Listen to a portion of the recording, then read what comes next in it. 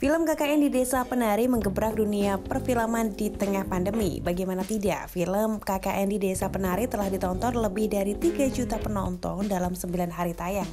Ada yang mencuri perhatian dalam film KKN di Desa Penari. Yes, ini dia sosok Badara Wuhi, siluman yang sangat cantik dan digambarkan sebagai seorang penari bertubuh ular dengan ciri khas berselendang. Dan sosok cantik yang memerankannya adalah Aulia Sara, seorang aktris cantik berusia 31 tahun. Perannya dalam film KKN di Desa Penari amat terekam di memori. Ada yang tahu, Aulia Sara merupakan seorang aktris berdarah Jawa Sunda. Ia mulai karirnya sebagai model dan menjadi finalis dalam ajang Gadis Sapul pada tahun 2005. Aulia Sara juga kerap memintangi FTV dan sejumlah serial.